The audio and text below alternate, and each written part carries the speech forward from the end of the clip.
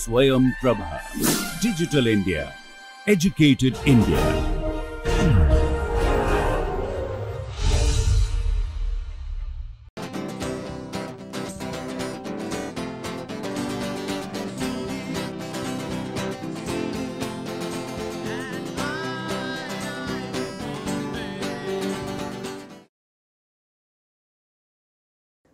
Welcome you all for the next lecture on the inorganic chemistry of life principles and perspectives. In the previous class we have been looking at uh, ion binding properties particularly towards the end we have been looking at uh, the ion binding properties with the synthetic uh, analog molecules such as crown ethers and cryptands and trying to understand the kind of parameters that influence the, uh, uh, the ion association or ion binding aspects such as the cavity size or core size as well as the number of uh, ligating centers that we have and the lipophilicity or hydrophilicity present on the peripheral uh, aspects of these particular molecules. All these affect the uh, log Ks values uh, of uh, the ions bound and particularly towards the end we were trying to look at uh, some example where we can try to understand the monovalent versus the divalent uh, ion transport. So, uh, in this table I have some examples I explained to you earlier. Uh, in that when you have a 222 or 222 B that is one benzene ring still the selectivity is more towards the uh, divalent cation. The moment you make one more benzene ring on top of this that is 2 2B 2B then there is no specific preference either for the monovalent or divalent. So, but that does not mean that both have been affected. What is more affected was the divalent. So, divalent gets more affected when you have more hydrophobic kind of a groups you know uh, protruding outside like phenyl group in this particular case. And uh, and see the next example 2 to C8 2 to C8 case uh, you have a much greater uh, you know selectivity for binding towards the monovalent cation as compared to the divalent cation. This is because the divalent preference is gone extremely down from 11 or 8.5 to 2 whereas uh, the, the other one has gone down like monovalent has gone down over to a, to a smaller extent. So, overall the preference is for the monovalent in this. Now, if you make instead of that 2 to C8 you make 2 to NCH3 as like the one which is shown over there again it uh, reverses it becomes a divalent cation. If you look at the uh, natural antibiotic uh, molecule one of the uh, things as nonactin you would see there is a preference for monovalent cation by about 80 fold difference. So, all this clearly demonstrate that as you keep playing with the uh, with the uh, ionophore molecule in terms of the pore size, in terms of the atoms that are being bound, in terms of the lipophilicity, hydrophilicity, all of these aspects will change the monovalent versus the divalent uh, transport, uh, divalent uh, uh, association constants of these. Now, let us try to look at these in terms of uh, a coupled uh, ion transport. One of the example taken over here is this is the molecule. Uh, so, in this molecule which is nothing but a crown ether which is derivatized and you have a carboxylic and the carboxylic. And you know that the carboxylic group COOH proton, the presence of the proton is dependent on the pH that should be kept in mind. So, here is a transport phenomena shown and this dotted region is let us say a lipid region and on one side inside the cell other is outside the cell equal to that. So, inside and outside. So, in this particular thing as you uh, have the metal ions on the on this side, the metal ion will interact with the molecule at this interface and picked up by this particular molecule and replaces the proton and the replaced proton will be ejected uh, uh, out. So, that is what you can see that. So, it is ejected out. So, when it reaches the other end again it will it will release the M plus and picks up the proton. Now, it has become the uh, neutral uh, carrier and then goes this here and then where it can pick up. So, you can see this is the kind of a uh, direction in which it goes the uh, molecule this particular molecule inside this. So, it picks up the metal ion and knocks out the proton and then transports to the other end releases the metal ion and then picks up the proton here. Similarly, instead of one uh, and monovalent, so you can have a two ions coupled with the uh, metal ion. Suppose if you take a divalent metal ion here as shown over here, when the divalent metal ion approaches here at the interface, it will kick out the two protons of this particular uh, molecule and make a uh, uh, complex with both the carboxylates.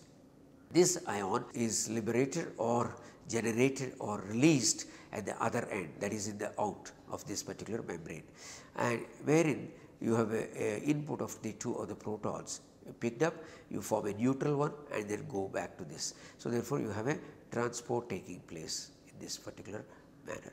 So, these are basically coupled the cation uh, coupled with a proton and here divalent cation coupled with a two protons and both are in the opposite direction. So, therefore, uh, this is where you have an antiport kind of a mechanism. So, same thing we can understand that by looking at their log Ks values as a function of pH. As I mentioned the, the protonation abilities will depend on the pH values whether the COOH is fully in the protonated form or COOH is in the COO minus form that will depend on the pH value that you have uh, here. So, the x axis has a pH uh, variation going from left to the right increasing the pH. Now, for the same molecule as you increase the pH the K plus stability goes down see as you go to the. On the other hand if you look at this particular curve and for the calcium 2 plus it goes up. So, initially there is very little binding for calcium and as the pH increases the binding becomes very strong and very log Ks and, and for K plus initially there is a high uh, association and as you increase the pH it goes down the stability goes down. So, exactly reverse that is because at the lower pH you have the molecule in the protonated form with the COOH, COOH. As you keep increasing the pH, one of the COOH loses the proton. As you increase further the pH, both the both the uh, carboxylic groups will lose the proton and becomes both COO minus. So, since calcium has got a very high affinity towards the carboxylate as we have already studied in the earlier classes, the calcium bound complex becomes much more stable at this particular uh, higher uh, pH. So, at the lower pH potassium uh, plus can make the complex. So, when you have a COOH can still form a complex with a potassium plus when the COO minus and both the COO minus calcium plus complex is uh, very much uh, favored. So, so therefore, uh, the nature tries to utilize various chemical groups which are susceptible even to the pH uh, and help besides the other points which I explained to you earlier the pore size, the ligating number of ligating atoms, the lipophilicity, hydrophilicity of the molecule as well. Now, having understood the log Ks very well, let us look at the next aspect, how would we compare the log Ks with that of the transport. Uh, in this particular slide, we have picked up two molecules, one is the 222 uh, cryptand, other is 22C8 cryptand.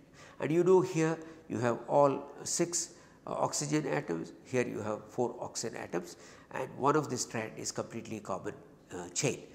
Now, in this if you see uh, time versus percent of transport, uh, transportation is from 0 percent of transport to 100 here. Similarly, uh, percent of transport 0 to 100 uh, percent. Now, if you look at taking the 2 to 2 and adding k plus, so uh, over a period of time as you can see almost no much transport. But if you add potassium plus there is a little better transport percentage and if you add cesium plus it will be a great transport uh, uh, you know greater transport or a very high transport uh, property. So, uh, cesium uh, so if you look at the stabilities which are given in the brackets here uh, the potassium plus log Ks is greatest as compared to the sodium plus as compared to the cesium plus that is what is shown over there.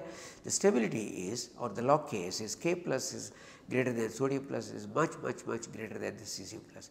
But on the other hand transport is cesium plus is much much greater than sodium plus which is greater than uh, potassium plus. So, what do you conclude here?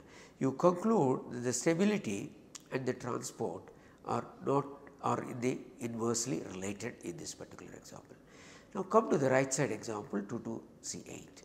So, you would find the uh, transport stability is K plus is greater than sodium plus is greater than cesium plus you can say 5.2, 3.5, 2.7. On the other hand transport if you look at the transport part the K plus is greater than the Na plus which is greater than cesium plus. So, what would be your conclusion? Both the stability order and transport order uh, are, are uh, directly proportional, whereas here the stability versus the transport are indirectly proportional. So, what does this mean? So, if you take one molecule you are getting inversely proportional, if you take the other molecule you are getting uh, directly proportional. So, this is a kind of a controversy which is definitely is not a controversy. If you look at carefully and try to compare whenever you have a k plus values in the range of 4 and a half to 6 range then you get the uh, maximum kind of a transport all other times even if you have a greater stability transport will be lower than that and that is what we are trying to find.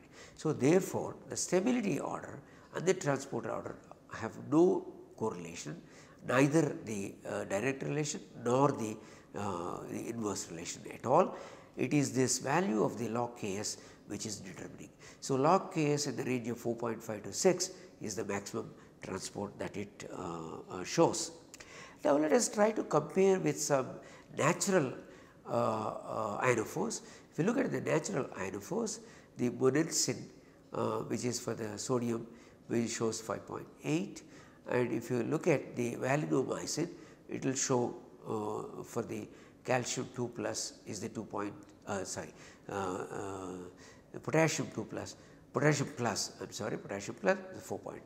So, somewhere around 5 uh, uh, in the vicinity of the 5 you have the the greater the affinity of these ones.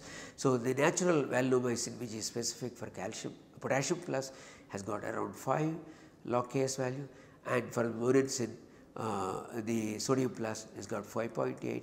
So, in the range of 5 plus or minus 1 seem to be the optimal value uh, for the natural ionophore and the same thing that we had tried to look for the, uh, the other ionophore which is the synthetic ionophore. So, therefore, in effect what we would like to say is that for the natural ionophore or the synthetic ionophore the main thing that is uh, basically uh, reflecting is the log Ks value. The log Ks value is the range of 4.5 to 6 range that is the most uh, preferred one. So, what this means is the lower the stability constant, the greater the stability constant with respect to 4.5 to 6 both are detrimental because when it is lower it will make the complex, but the complex transport uh, during the transport itself it will break.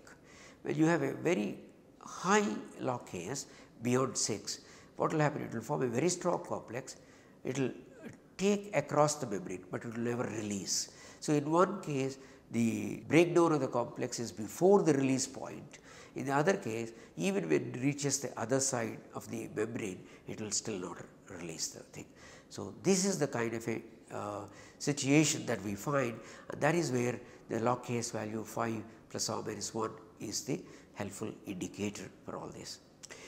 So, let us look at one uh, another aspect uh, as I mentioned initially the magnesium uh, forms uh, a complex with ATP in all these enzymes uh, to convert for the hydrolysis of ATP or even for synthesis of ATP from ADP in both the cases uh, the magnesium 2 plus binds to this. So, when the magnesium 2 plus binds to ATP you can see here one of the uh, isomer is this way other isomer. There are two possible isomers are there and uh, so these are the, the ones which provides the stability to this particular uh, system. This is how it uh, basically explains the, the whole thing of the stability of the uh, of the AMP or ATP with respect to the magnesium 2 plus in the process of phosphorylation as well in the process of the dephosphorylation where it has to add a phosphate group where it has to add remove a phosphate group. And uh, the other side I have explained some things. The magnesium 2 plus ions in fact stabilize the tRNA structure. How does it stabilize? Magnesium 2 plus ions do not directly bind to the uh, tRNA. So, what basically binds is magnesium aquo complex MgOH2 6 uh, 2 plus this particular complex is the one which binds to the tRNA. So, that means it is the water which is bound to the magnesium and in turn interacts with the tRNA. So, that means it is basically a secondary sphere interactions of the magnesium. So, the magnesium first uh, sphere is the water and the water molecule in turn interacts with this uh, uh, with this tRNA. So, therefore, these are called the secondary sphere kind of interactions because there is no direct interaction between the uh, tRNA and the magnesium center, but the interactions between the tRNA and the water molecule and most of these are by the hydrogen bonding. So, magnesium uh, hexaquo is the ion which stabilizes the structure of the tRNA through the formation of the hydrogen bonds as you can uh, see the example over here. So, therefore, in this uh, particular lecture what I have talked to you is about the uh, monovalent versus divalent uh, uh, balancing or selectivity in terms of the log Ks values that I have explained. And first of all the log Ks values themselves are dependent on the core size or the pore size and then uh, ligating centers, number of ligating atoms present in that and uh, as well as the lipophilicity, hydrophilicity of the molecule. Then we talked about the coupled transport, the ion versus proton, ion versus proton in the reverse direction which is antiport mechanism. So, we I explained to you through an example of dicarboxylic group containing crown ether. So, for monovalent, for divalent, for monovalent let us say potassium plus, for divalent it is for the uh, calcium 2 plus and we have seen that the divalent calcium 2 plus has got a very high stability constant at a higher pH whereas it is exactly reverse the for the potassium plus because at the low pH the carboxylic groups are COOH form at a higher pH carboxylic groups are in COO minus form and both the COO minus will be strongly binding to the calcium whereas the both the COOH positive uh, COOH groups will be binding to the potassium plus. So, this difference also we have looked at. Then we have looked at the, uh, the stability versus the transport ability. So, shown in one case the stability and transport ability are uh, directly proportional, in another case uh, stability versus the transport are, uh, are indirectly proportional. So, that means it is there is a uh, controversy thing which is not really the uh, aspect. The aspect you need to look at is look at the log Ks. So, wherever the log Ks is the range of 4.5 to 6 that is the one which is favored and this is comparable with the uh, with the with the natural ionophores and that is what I have shown in the end. Thank you very much.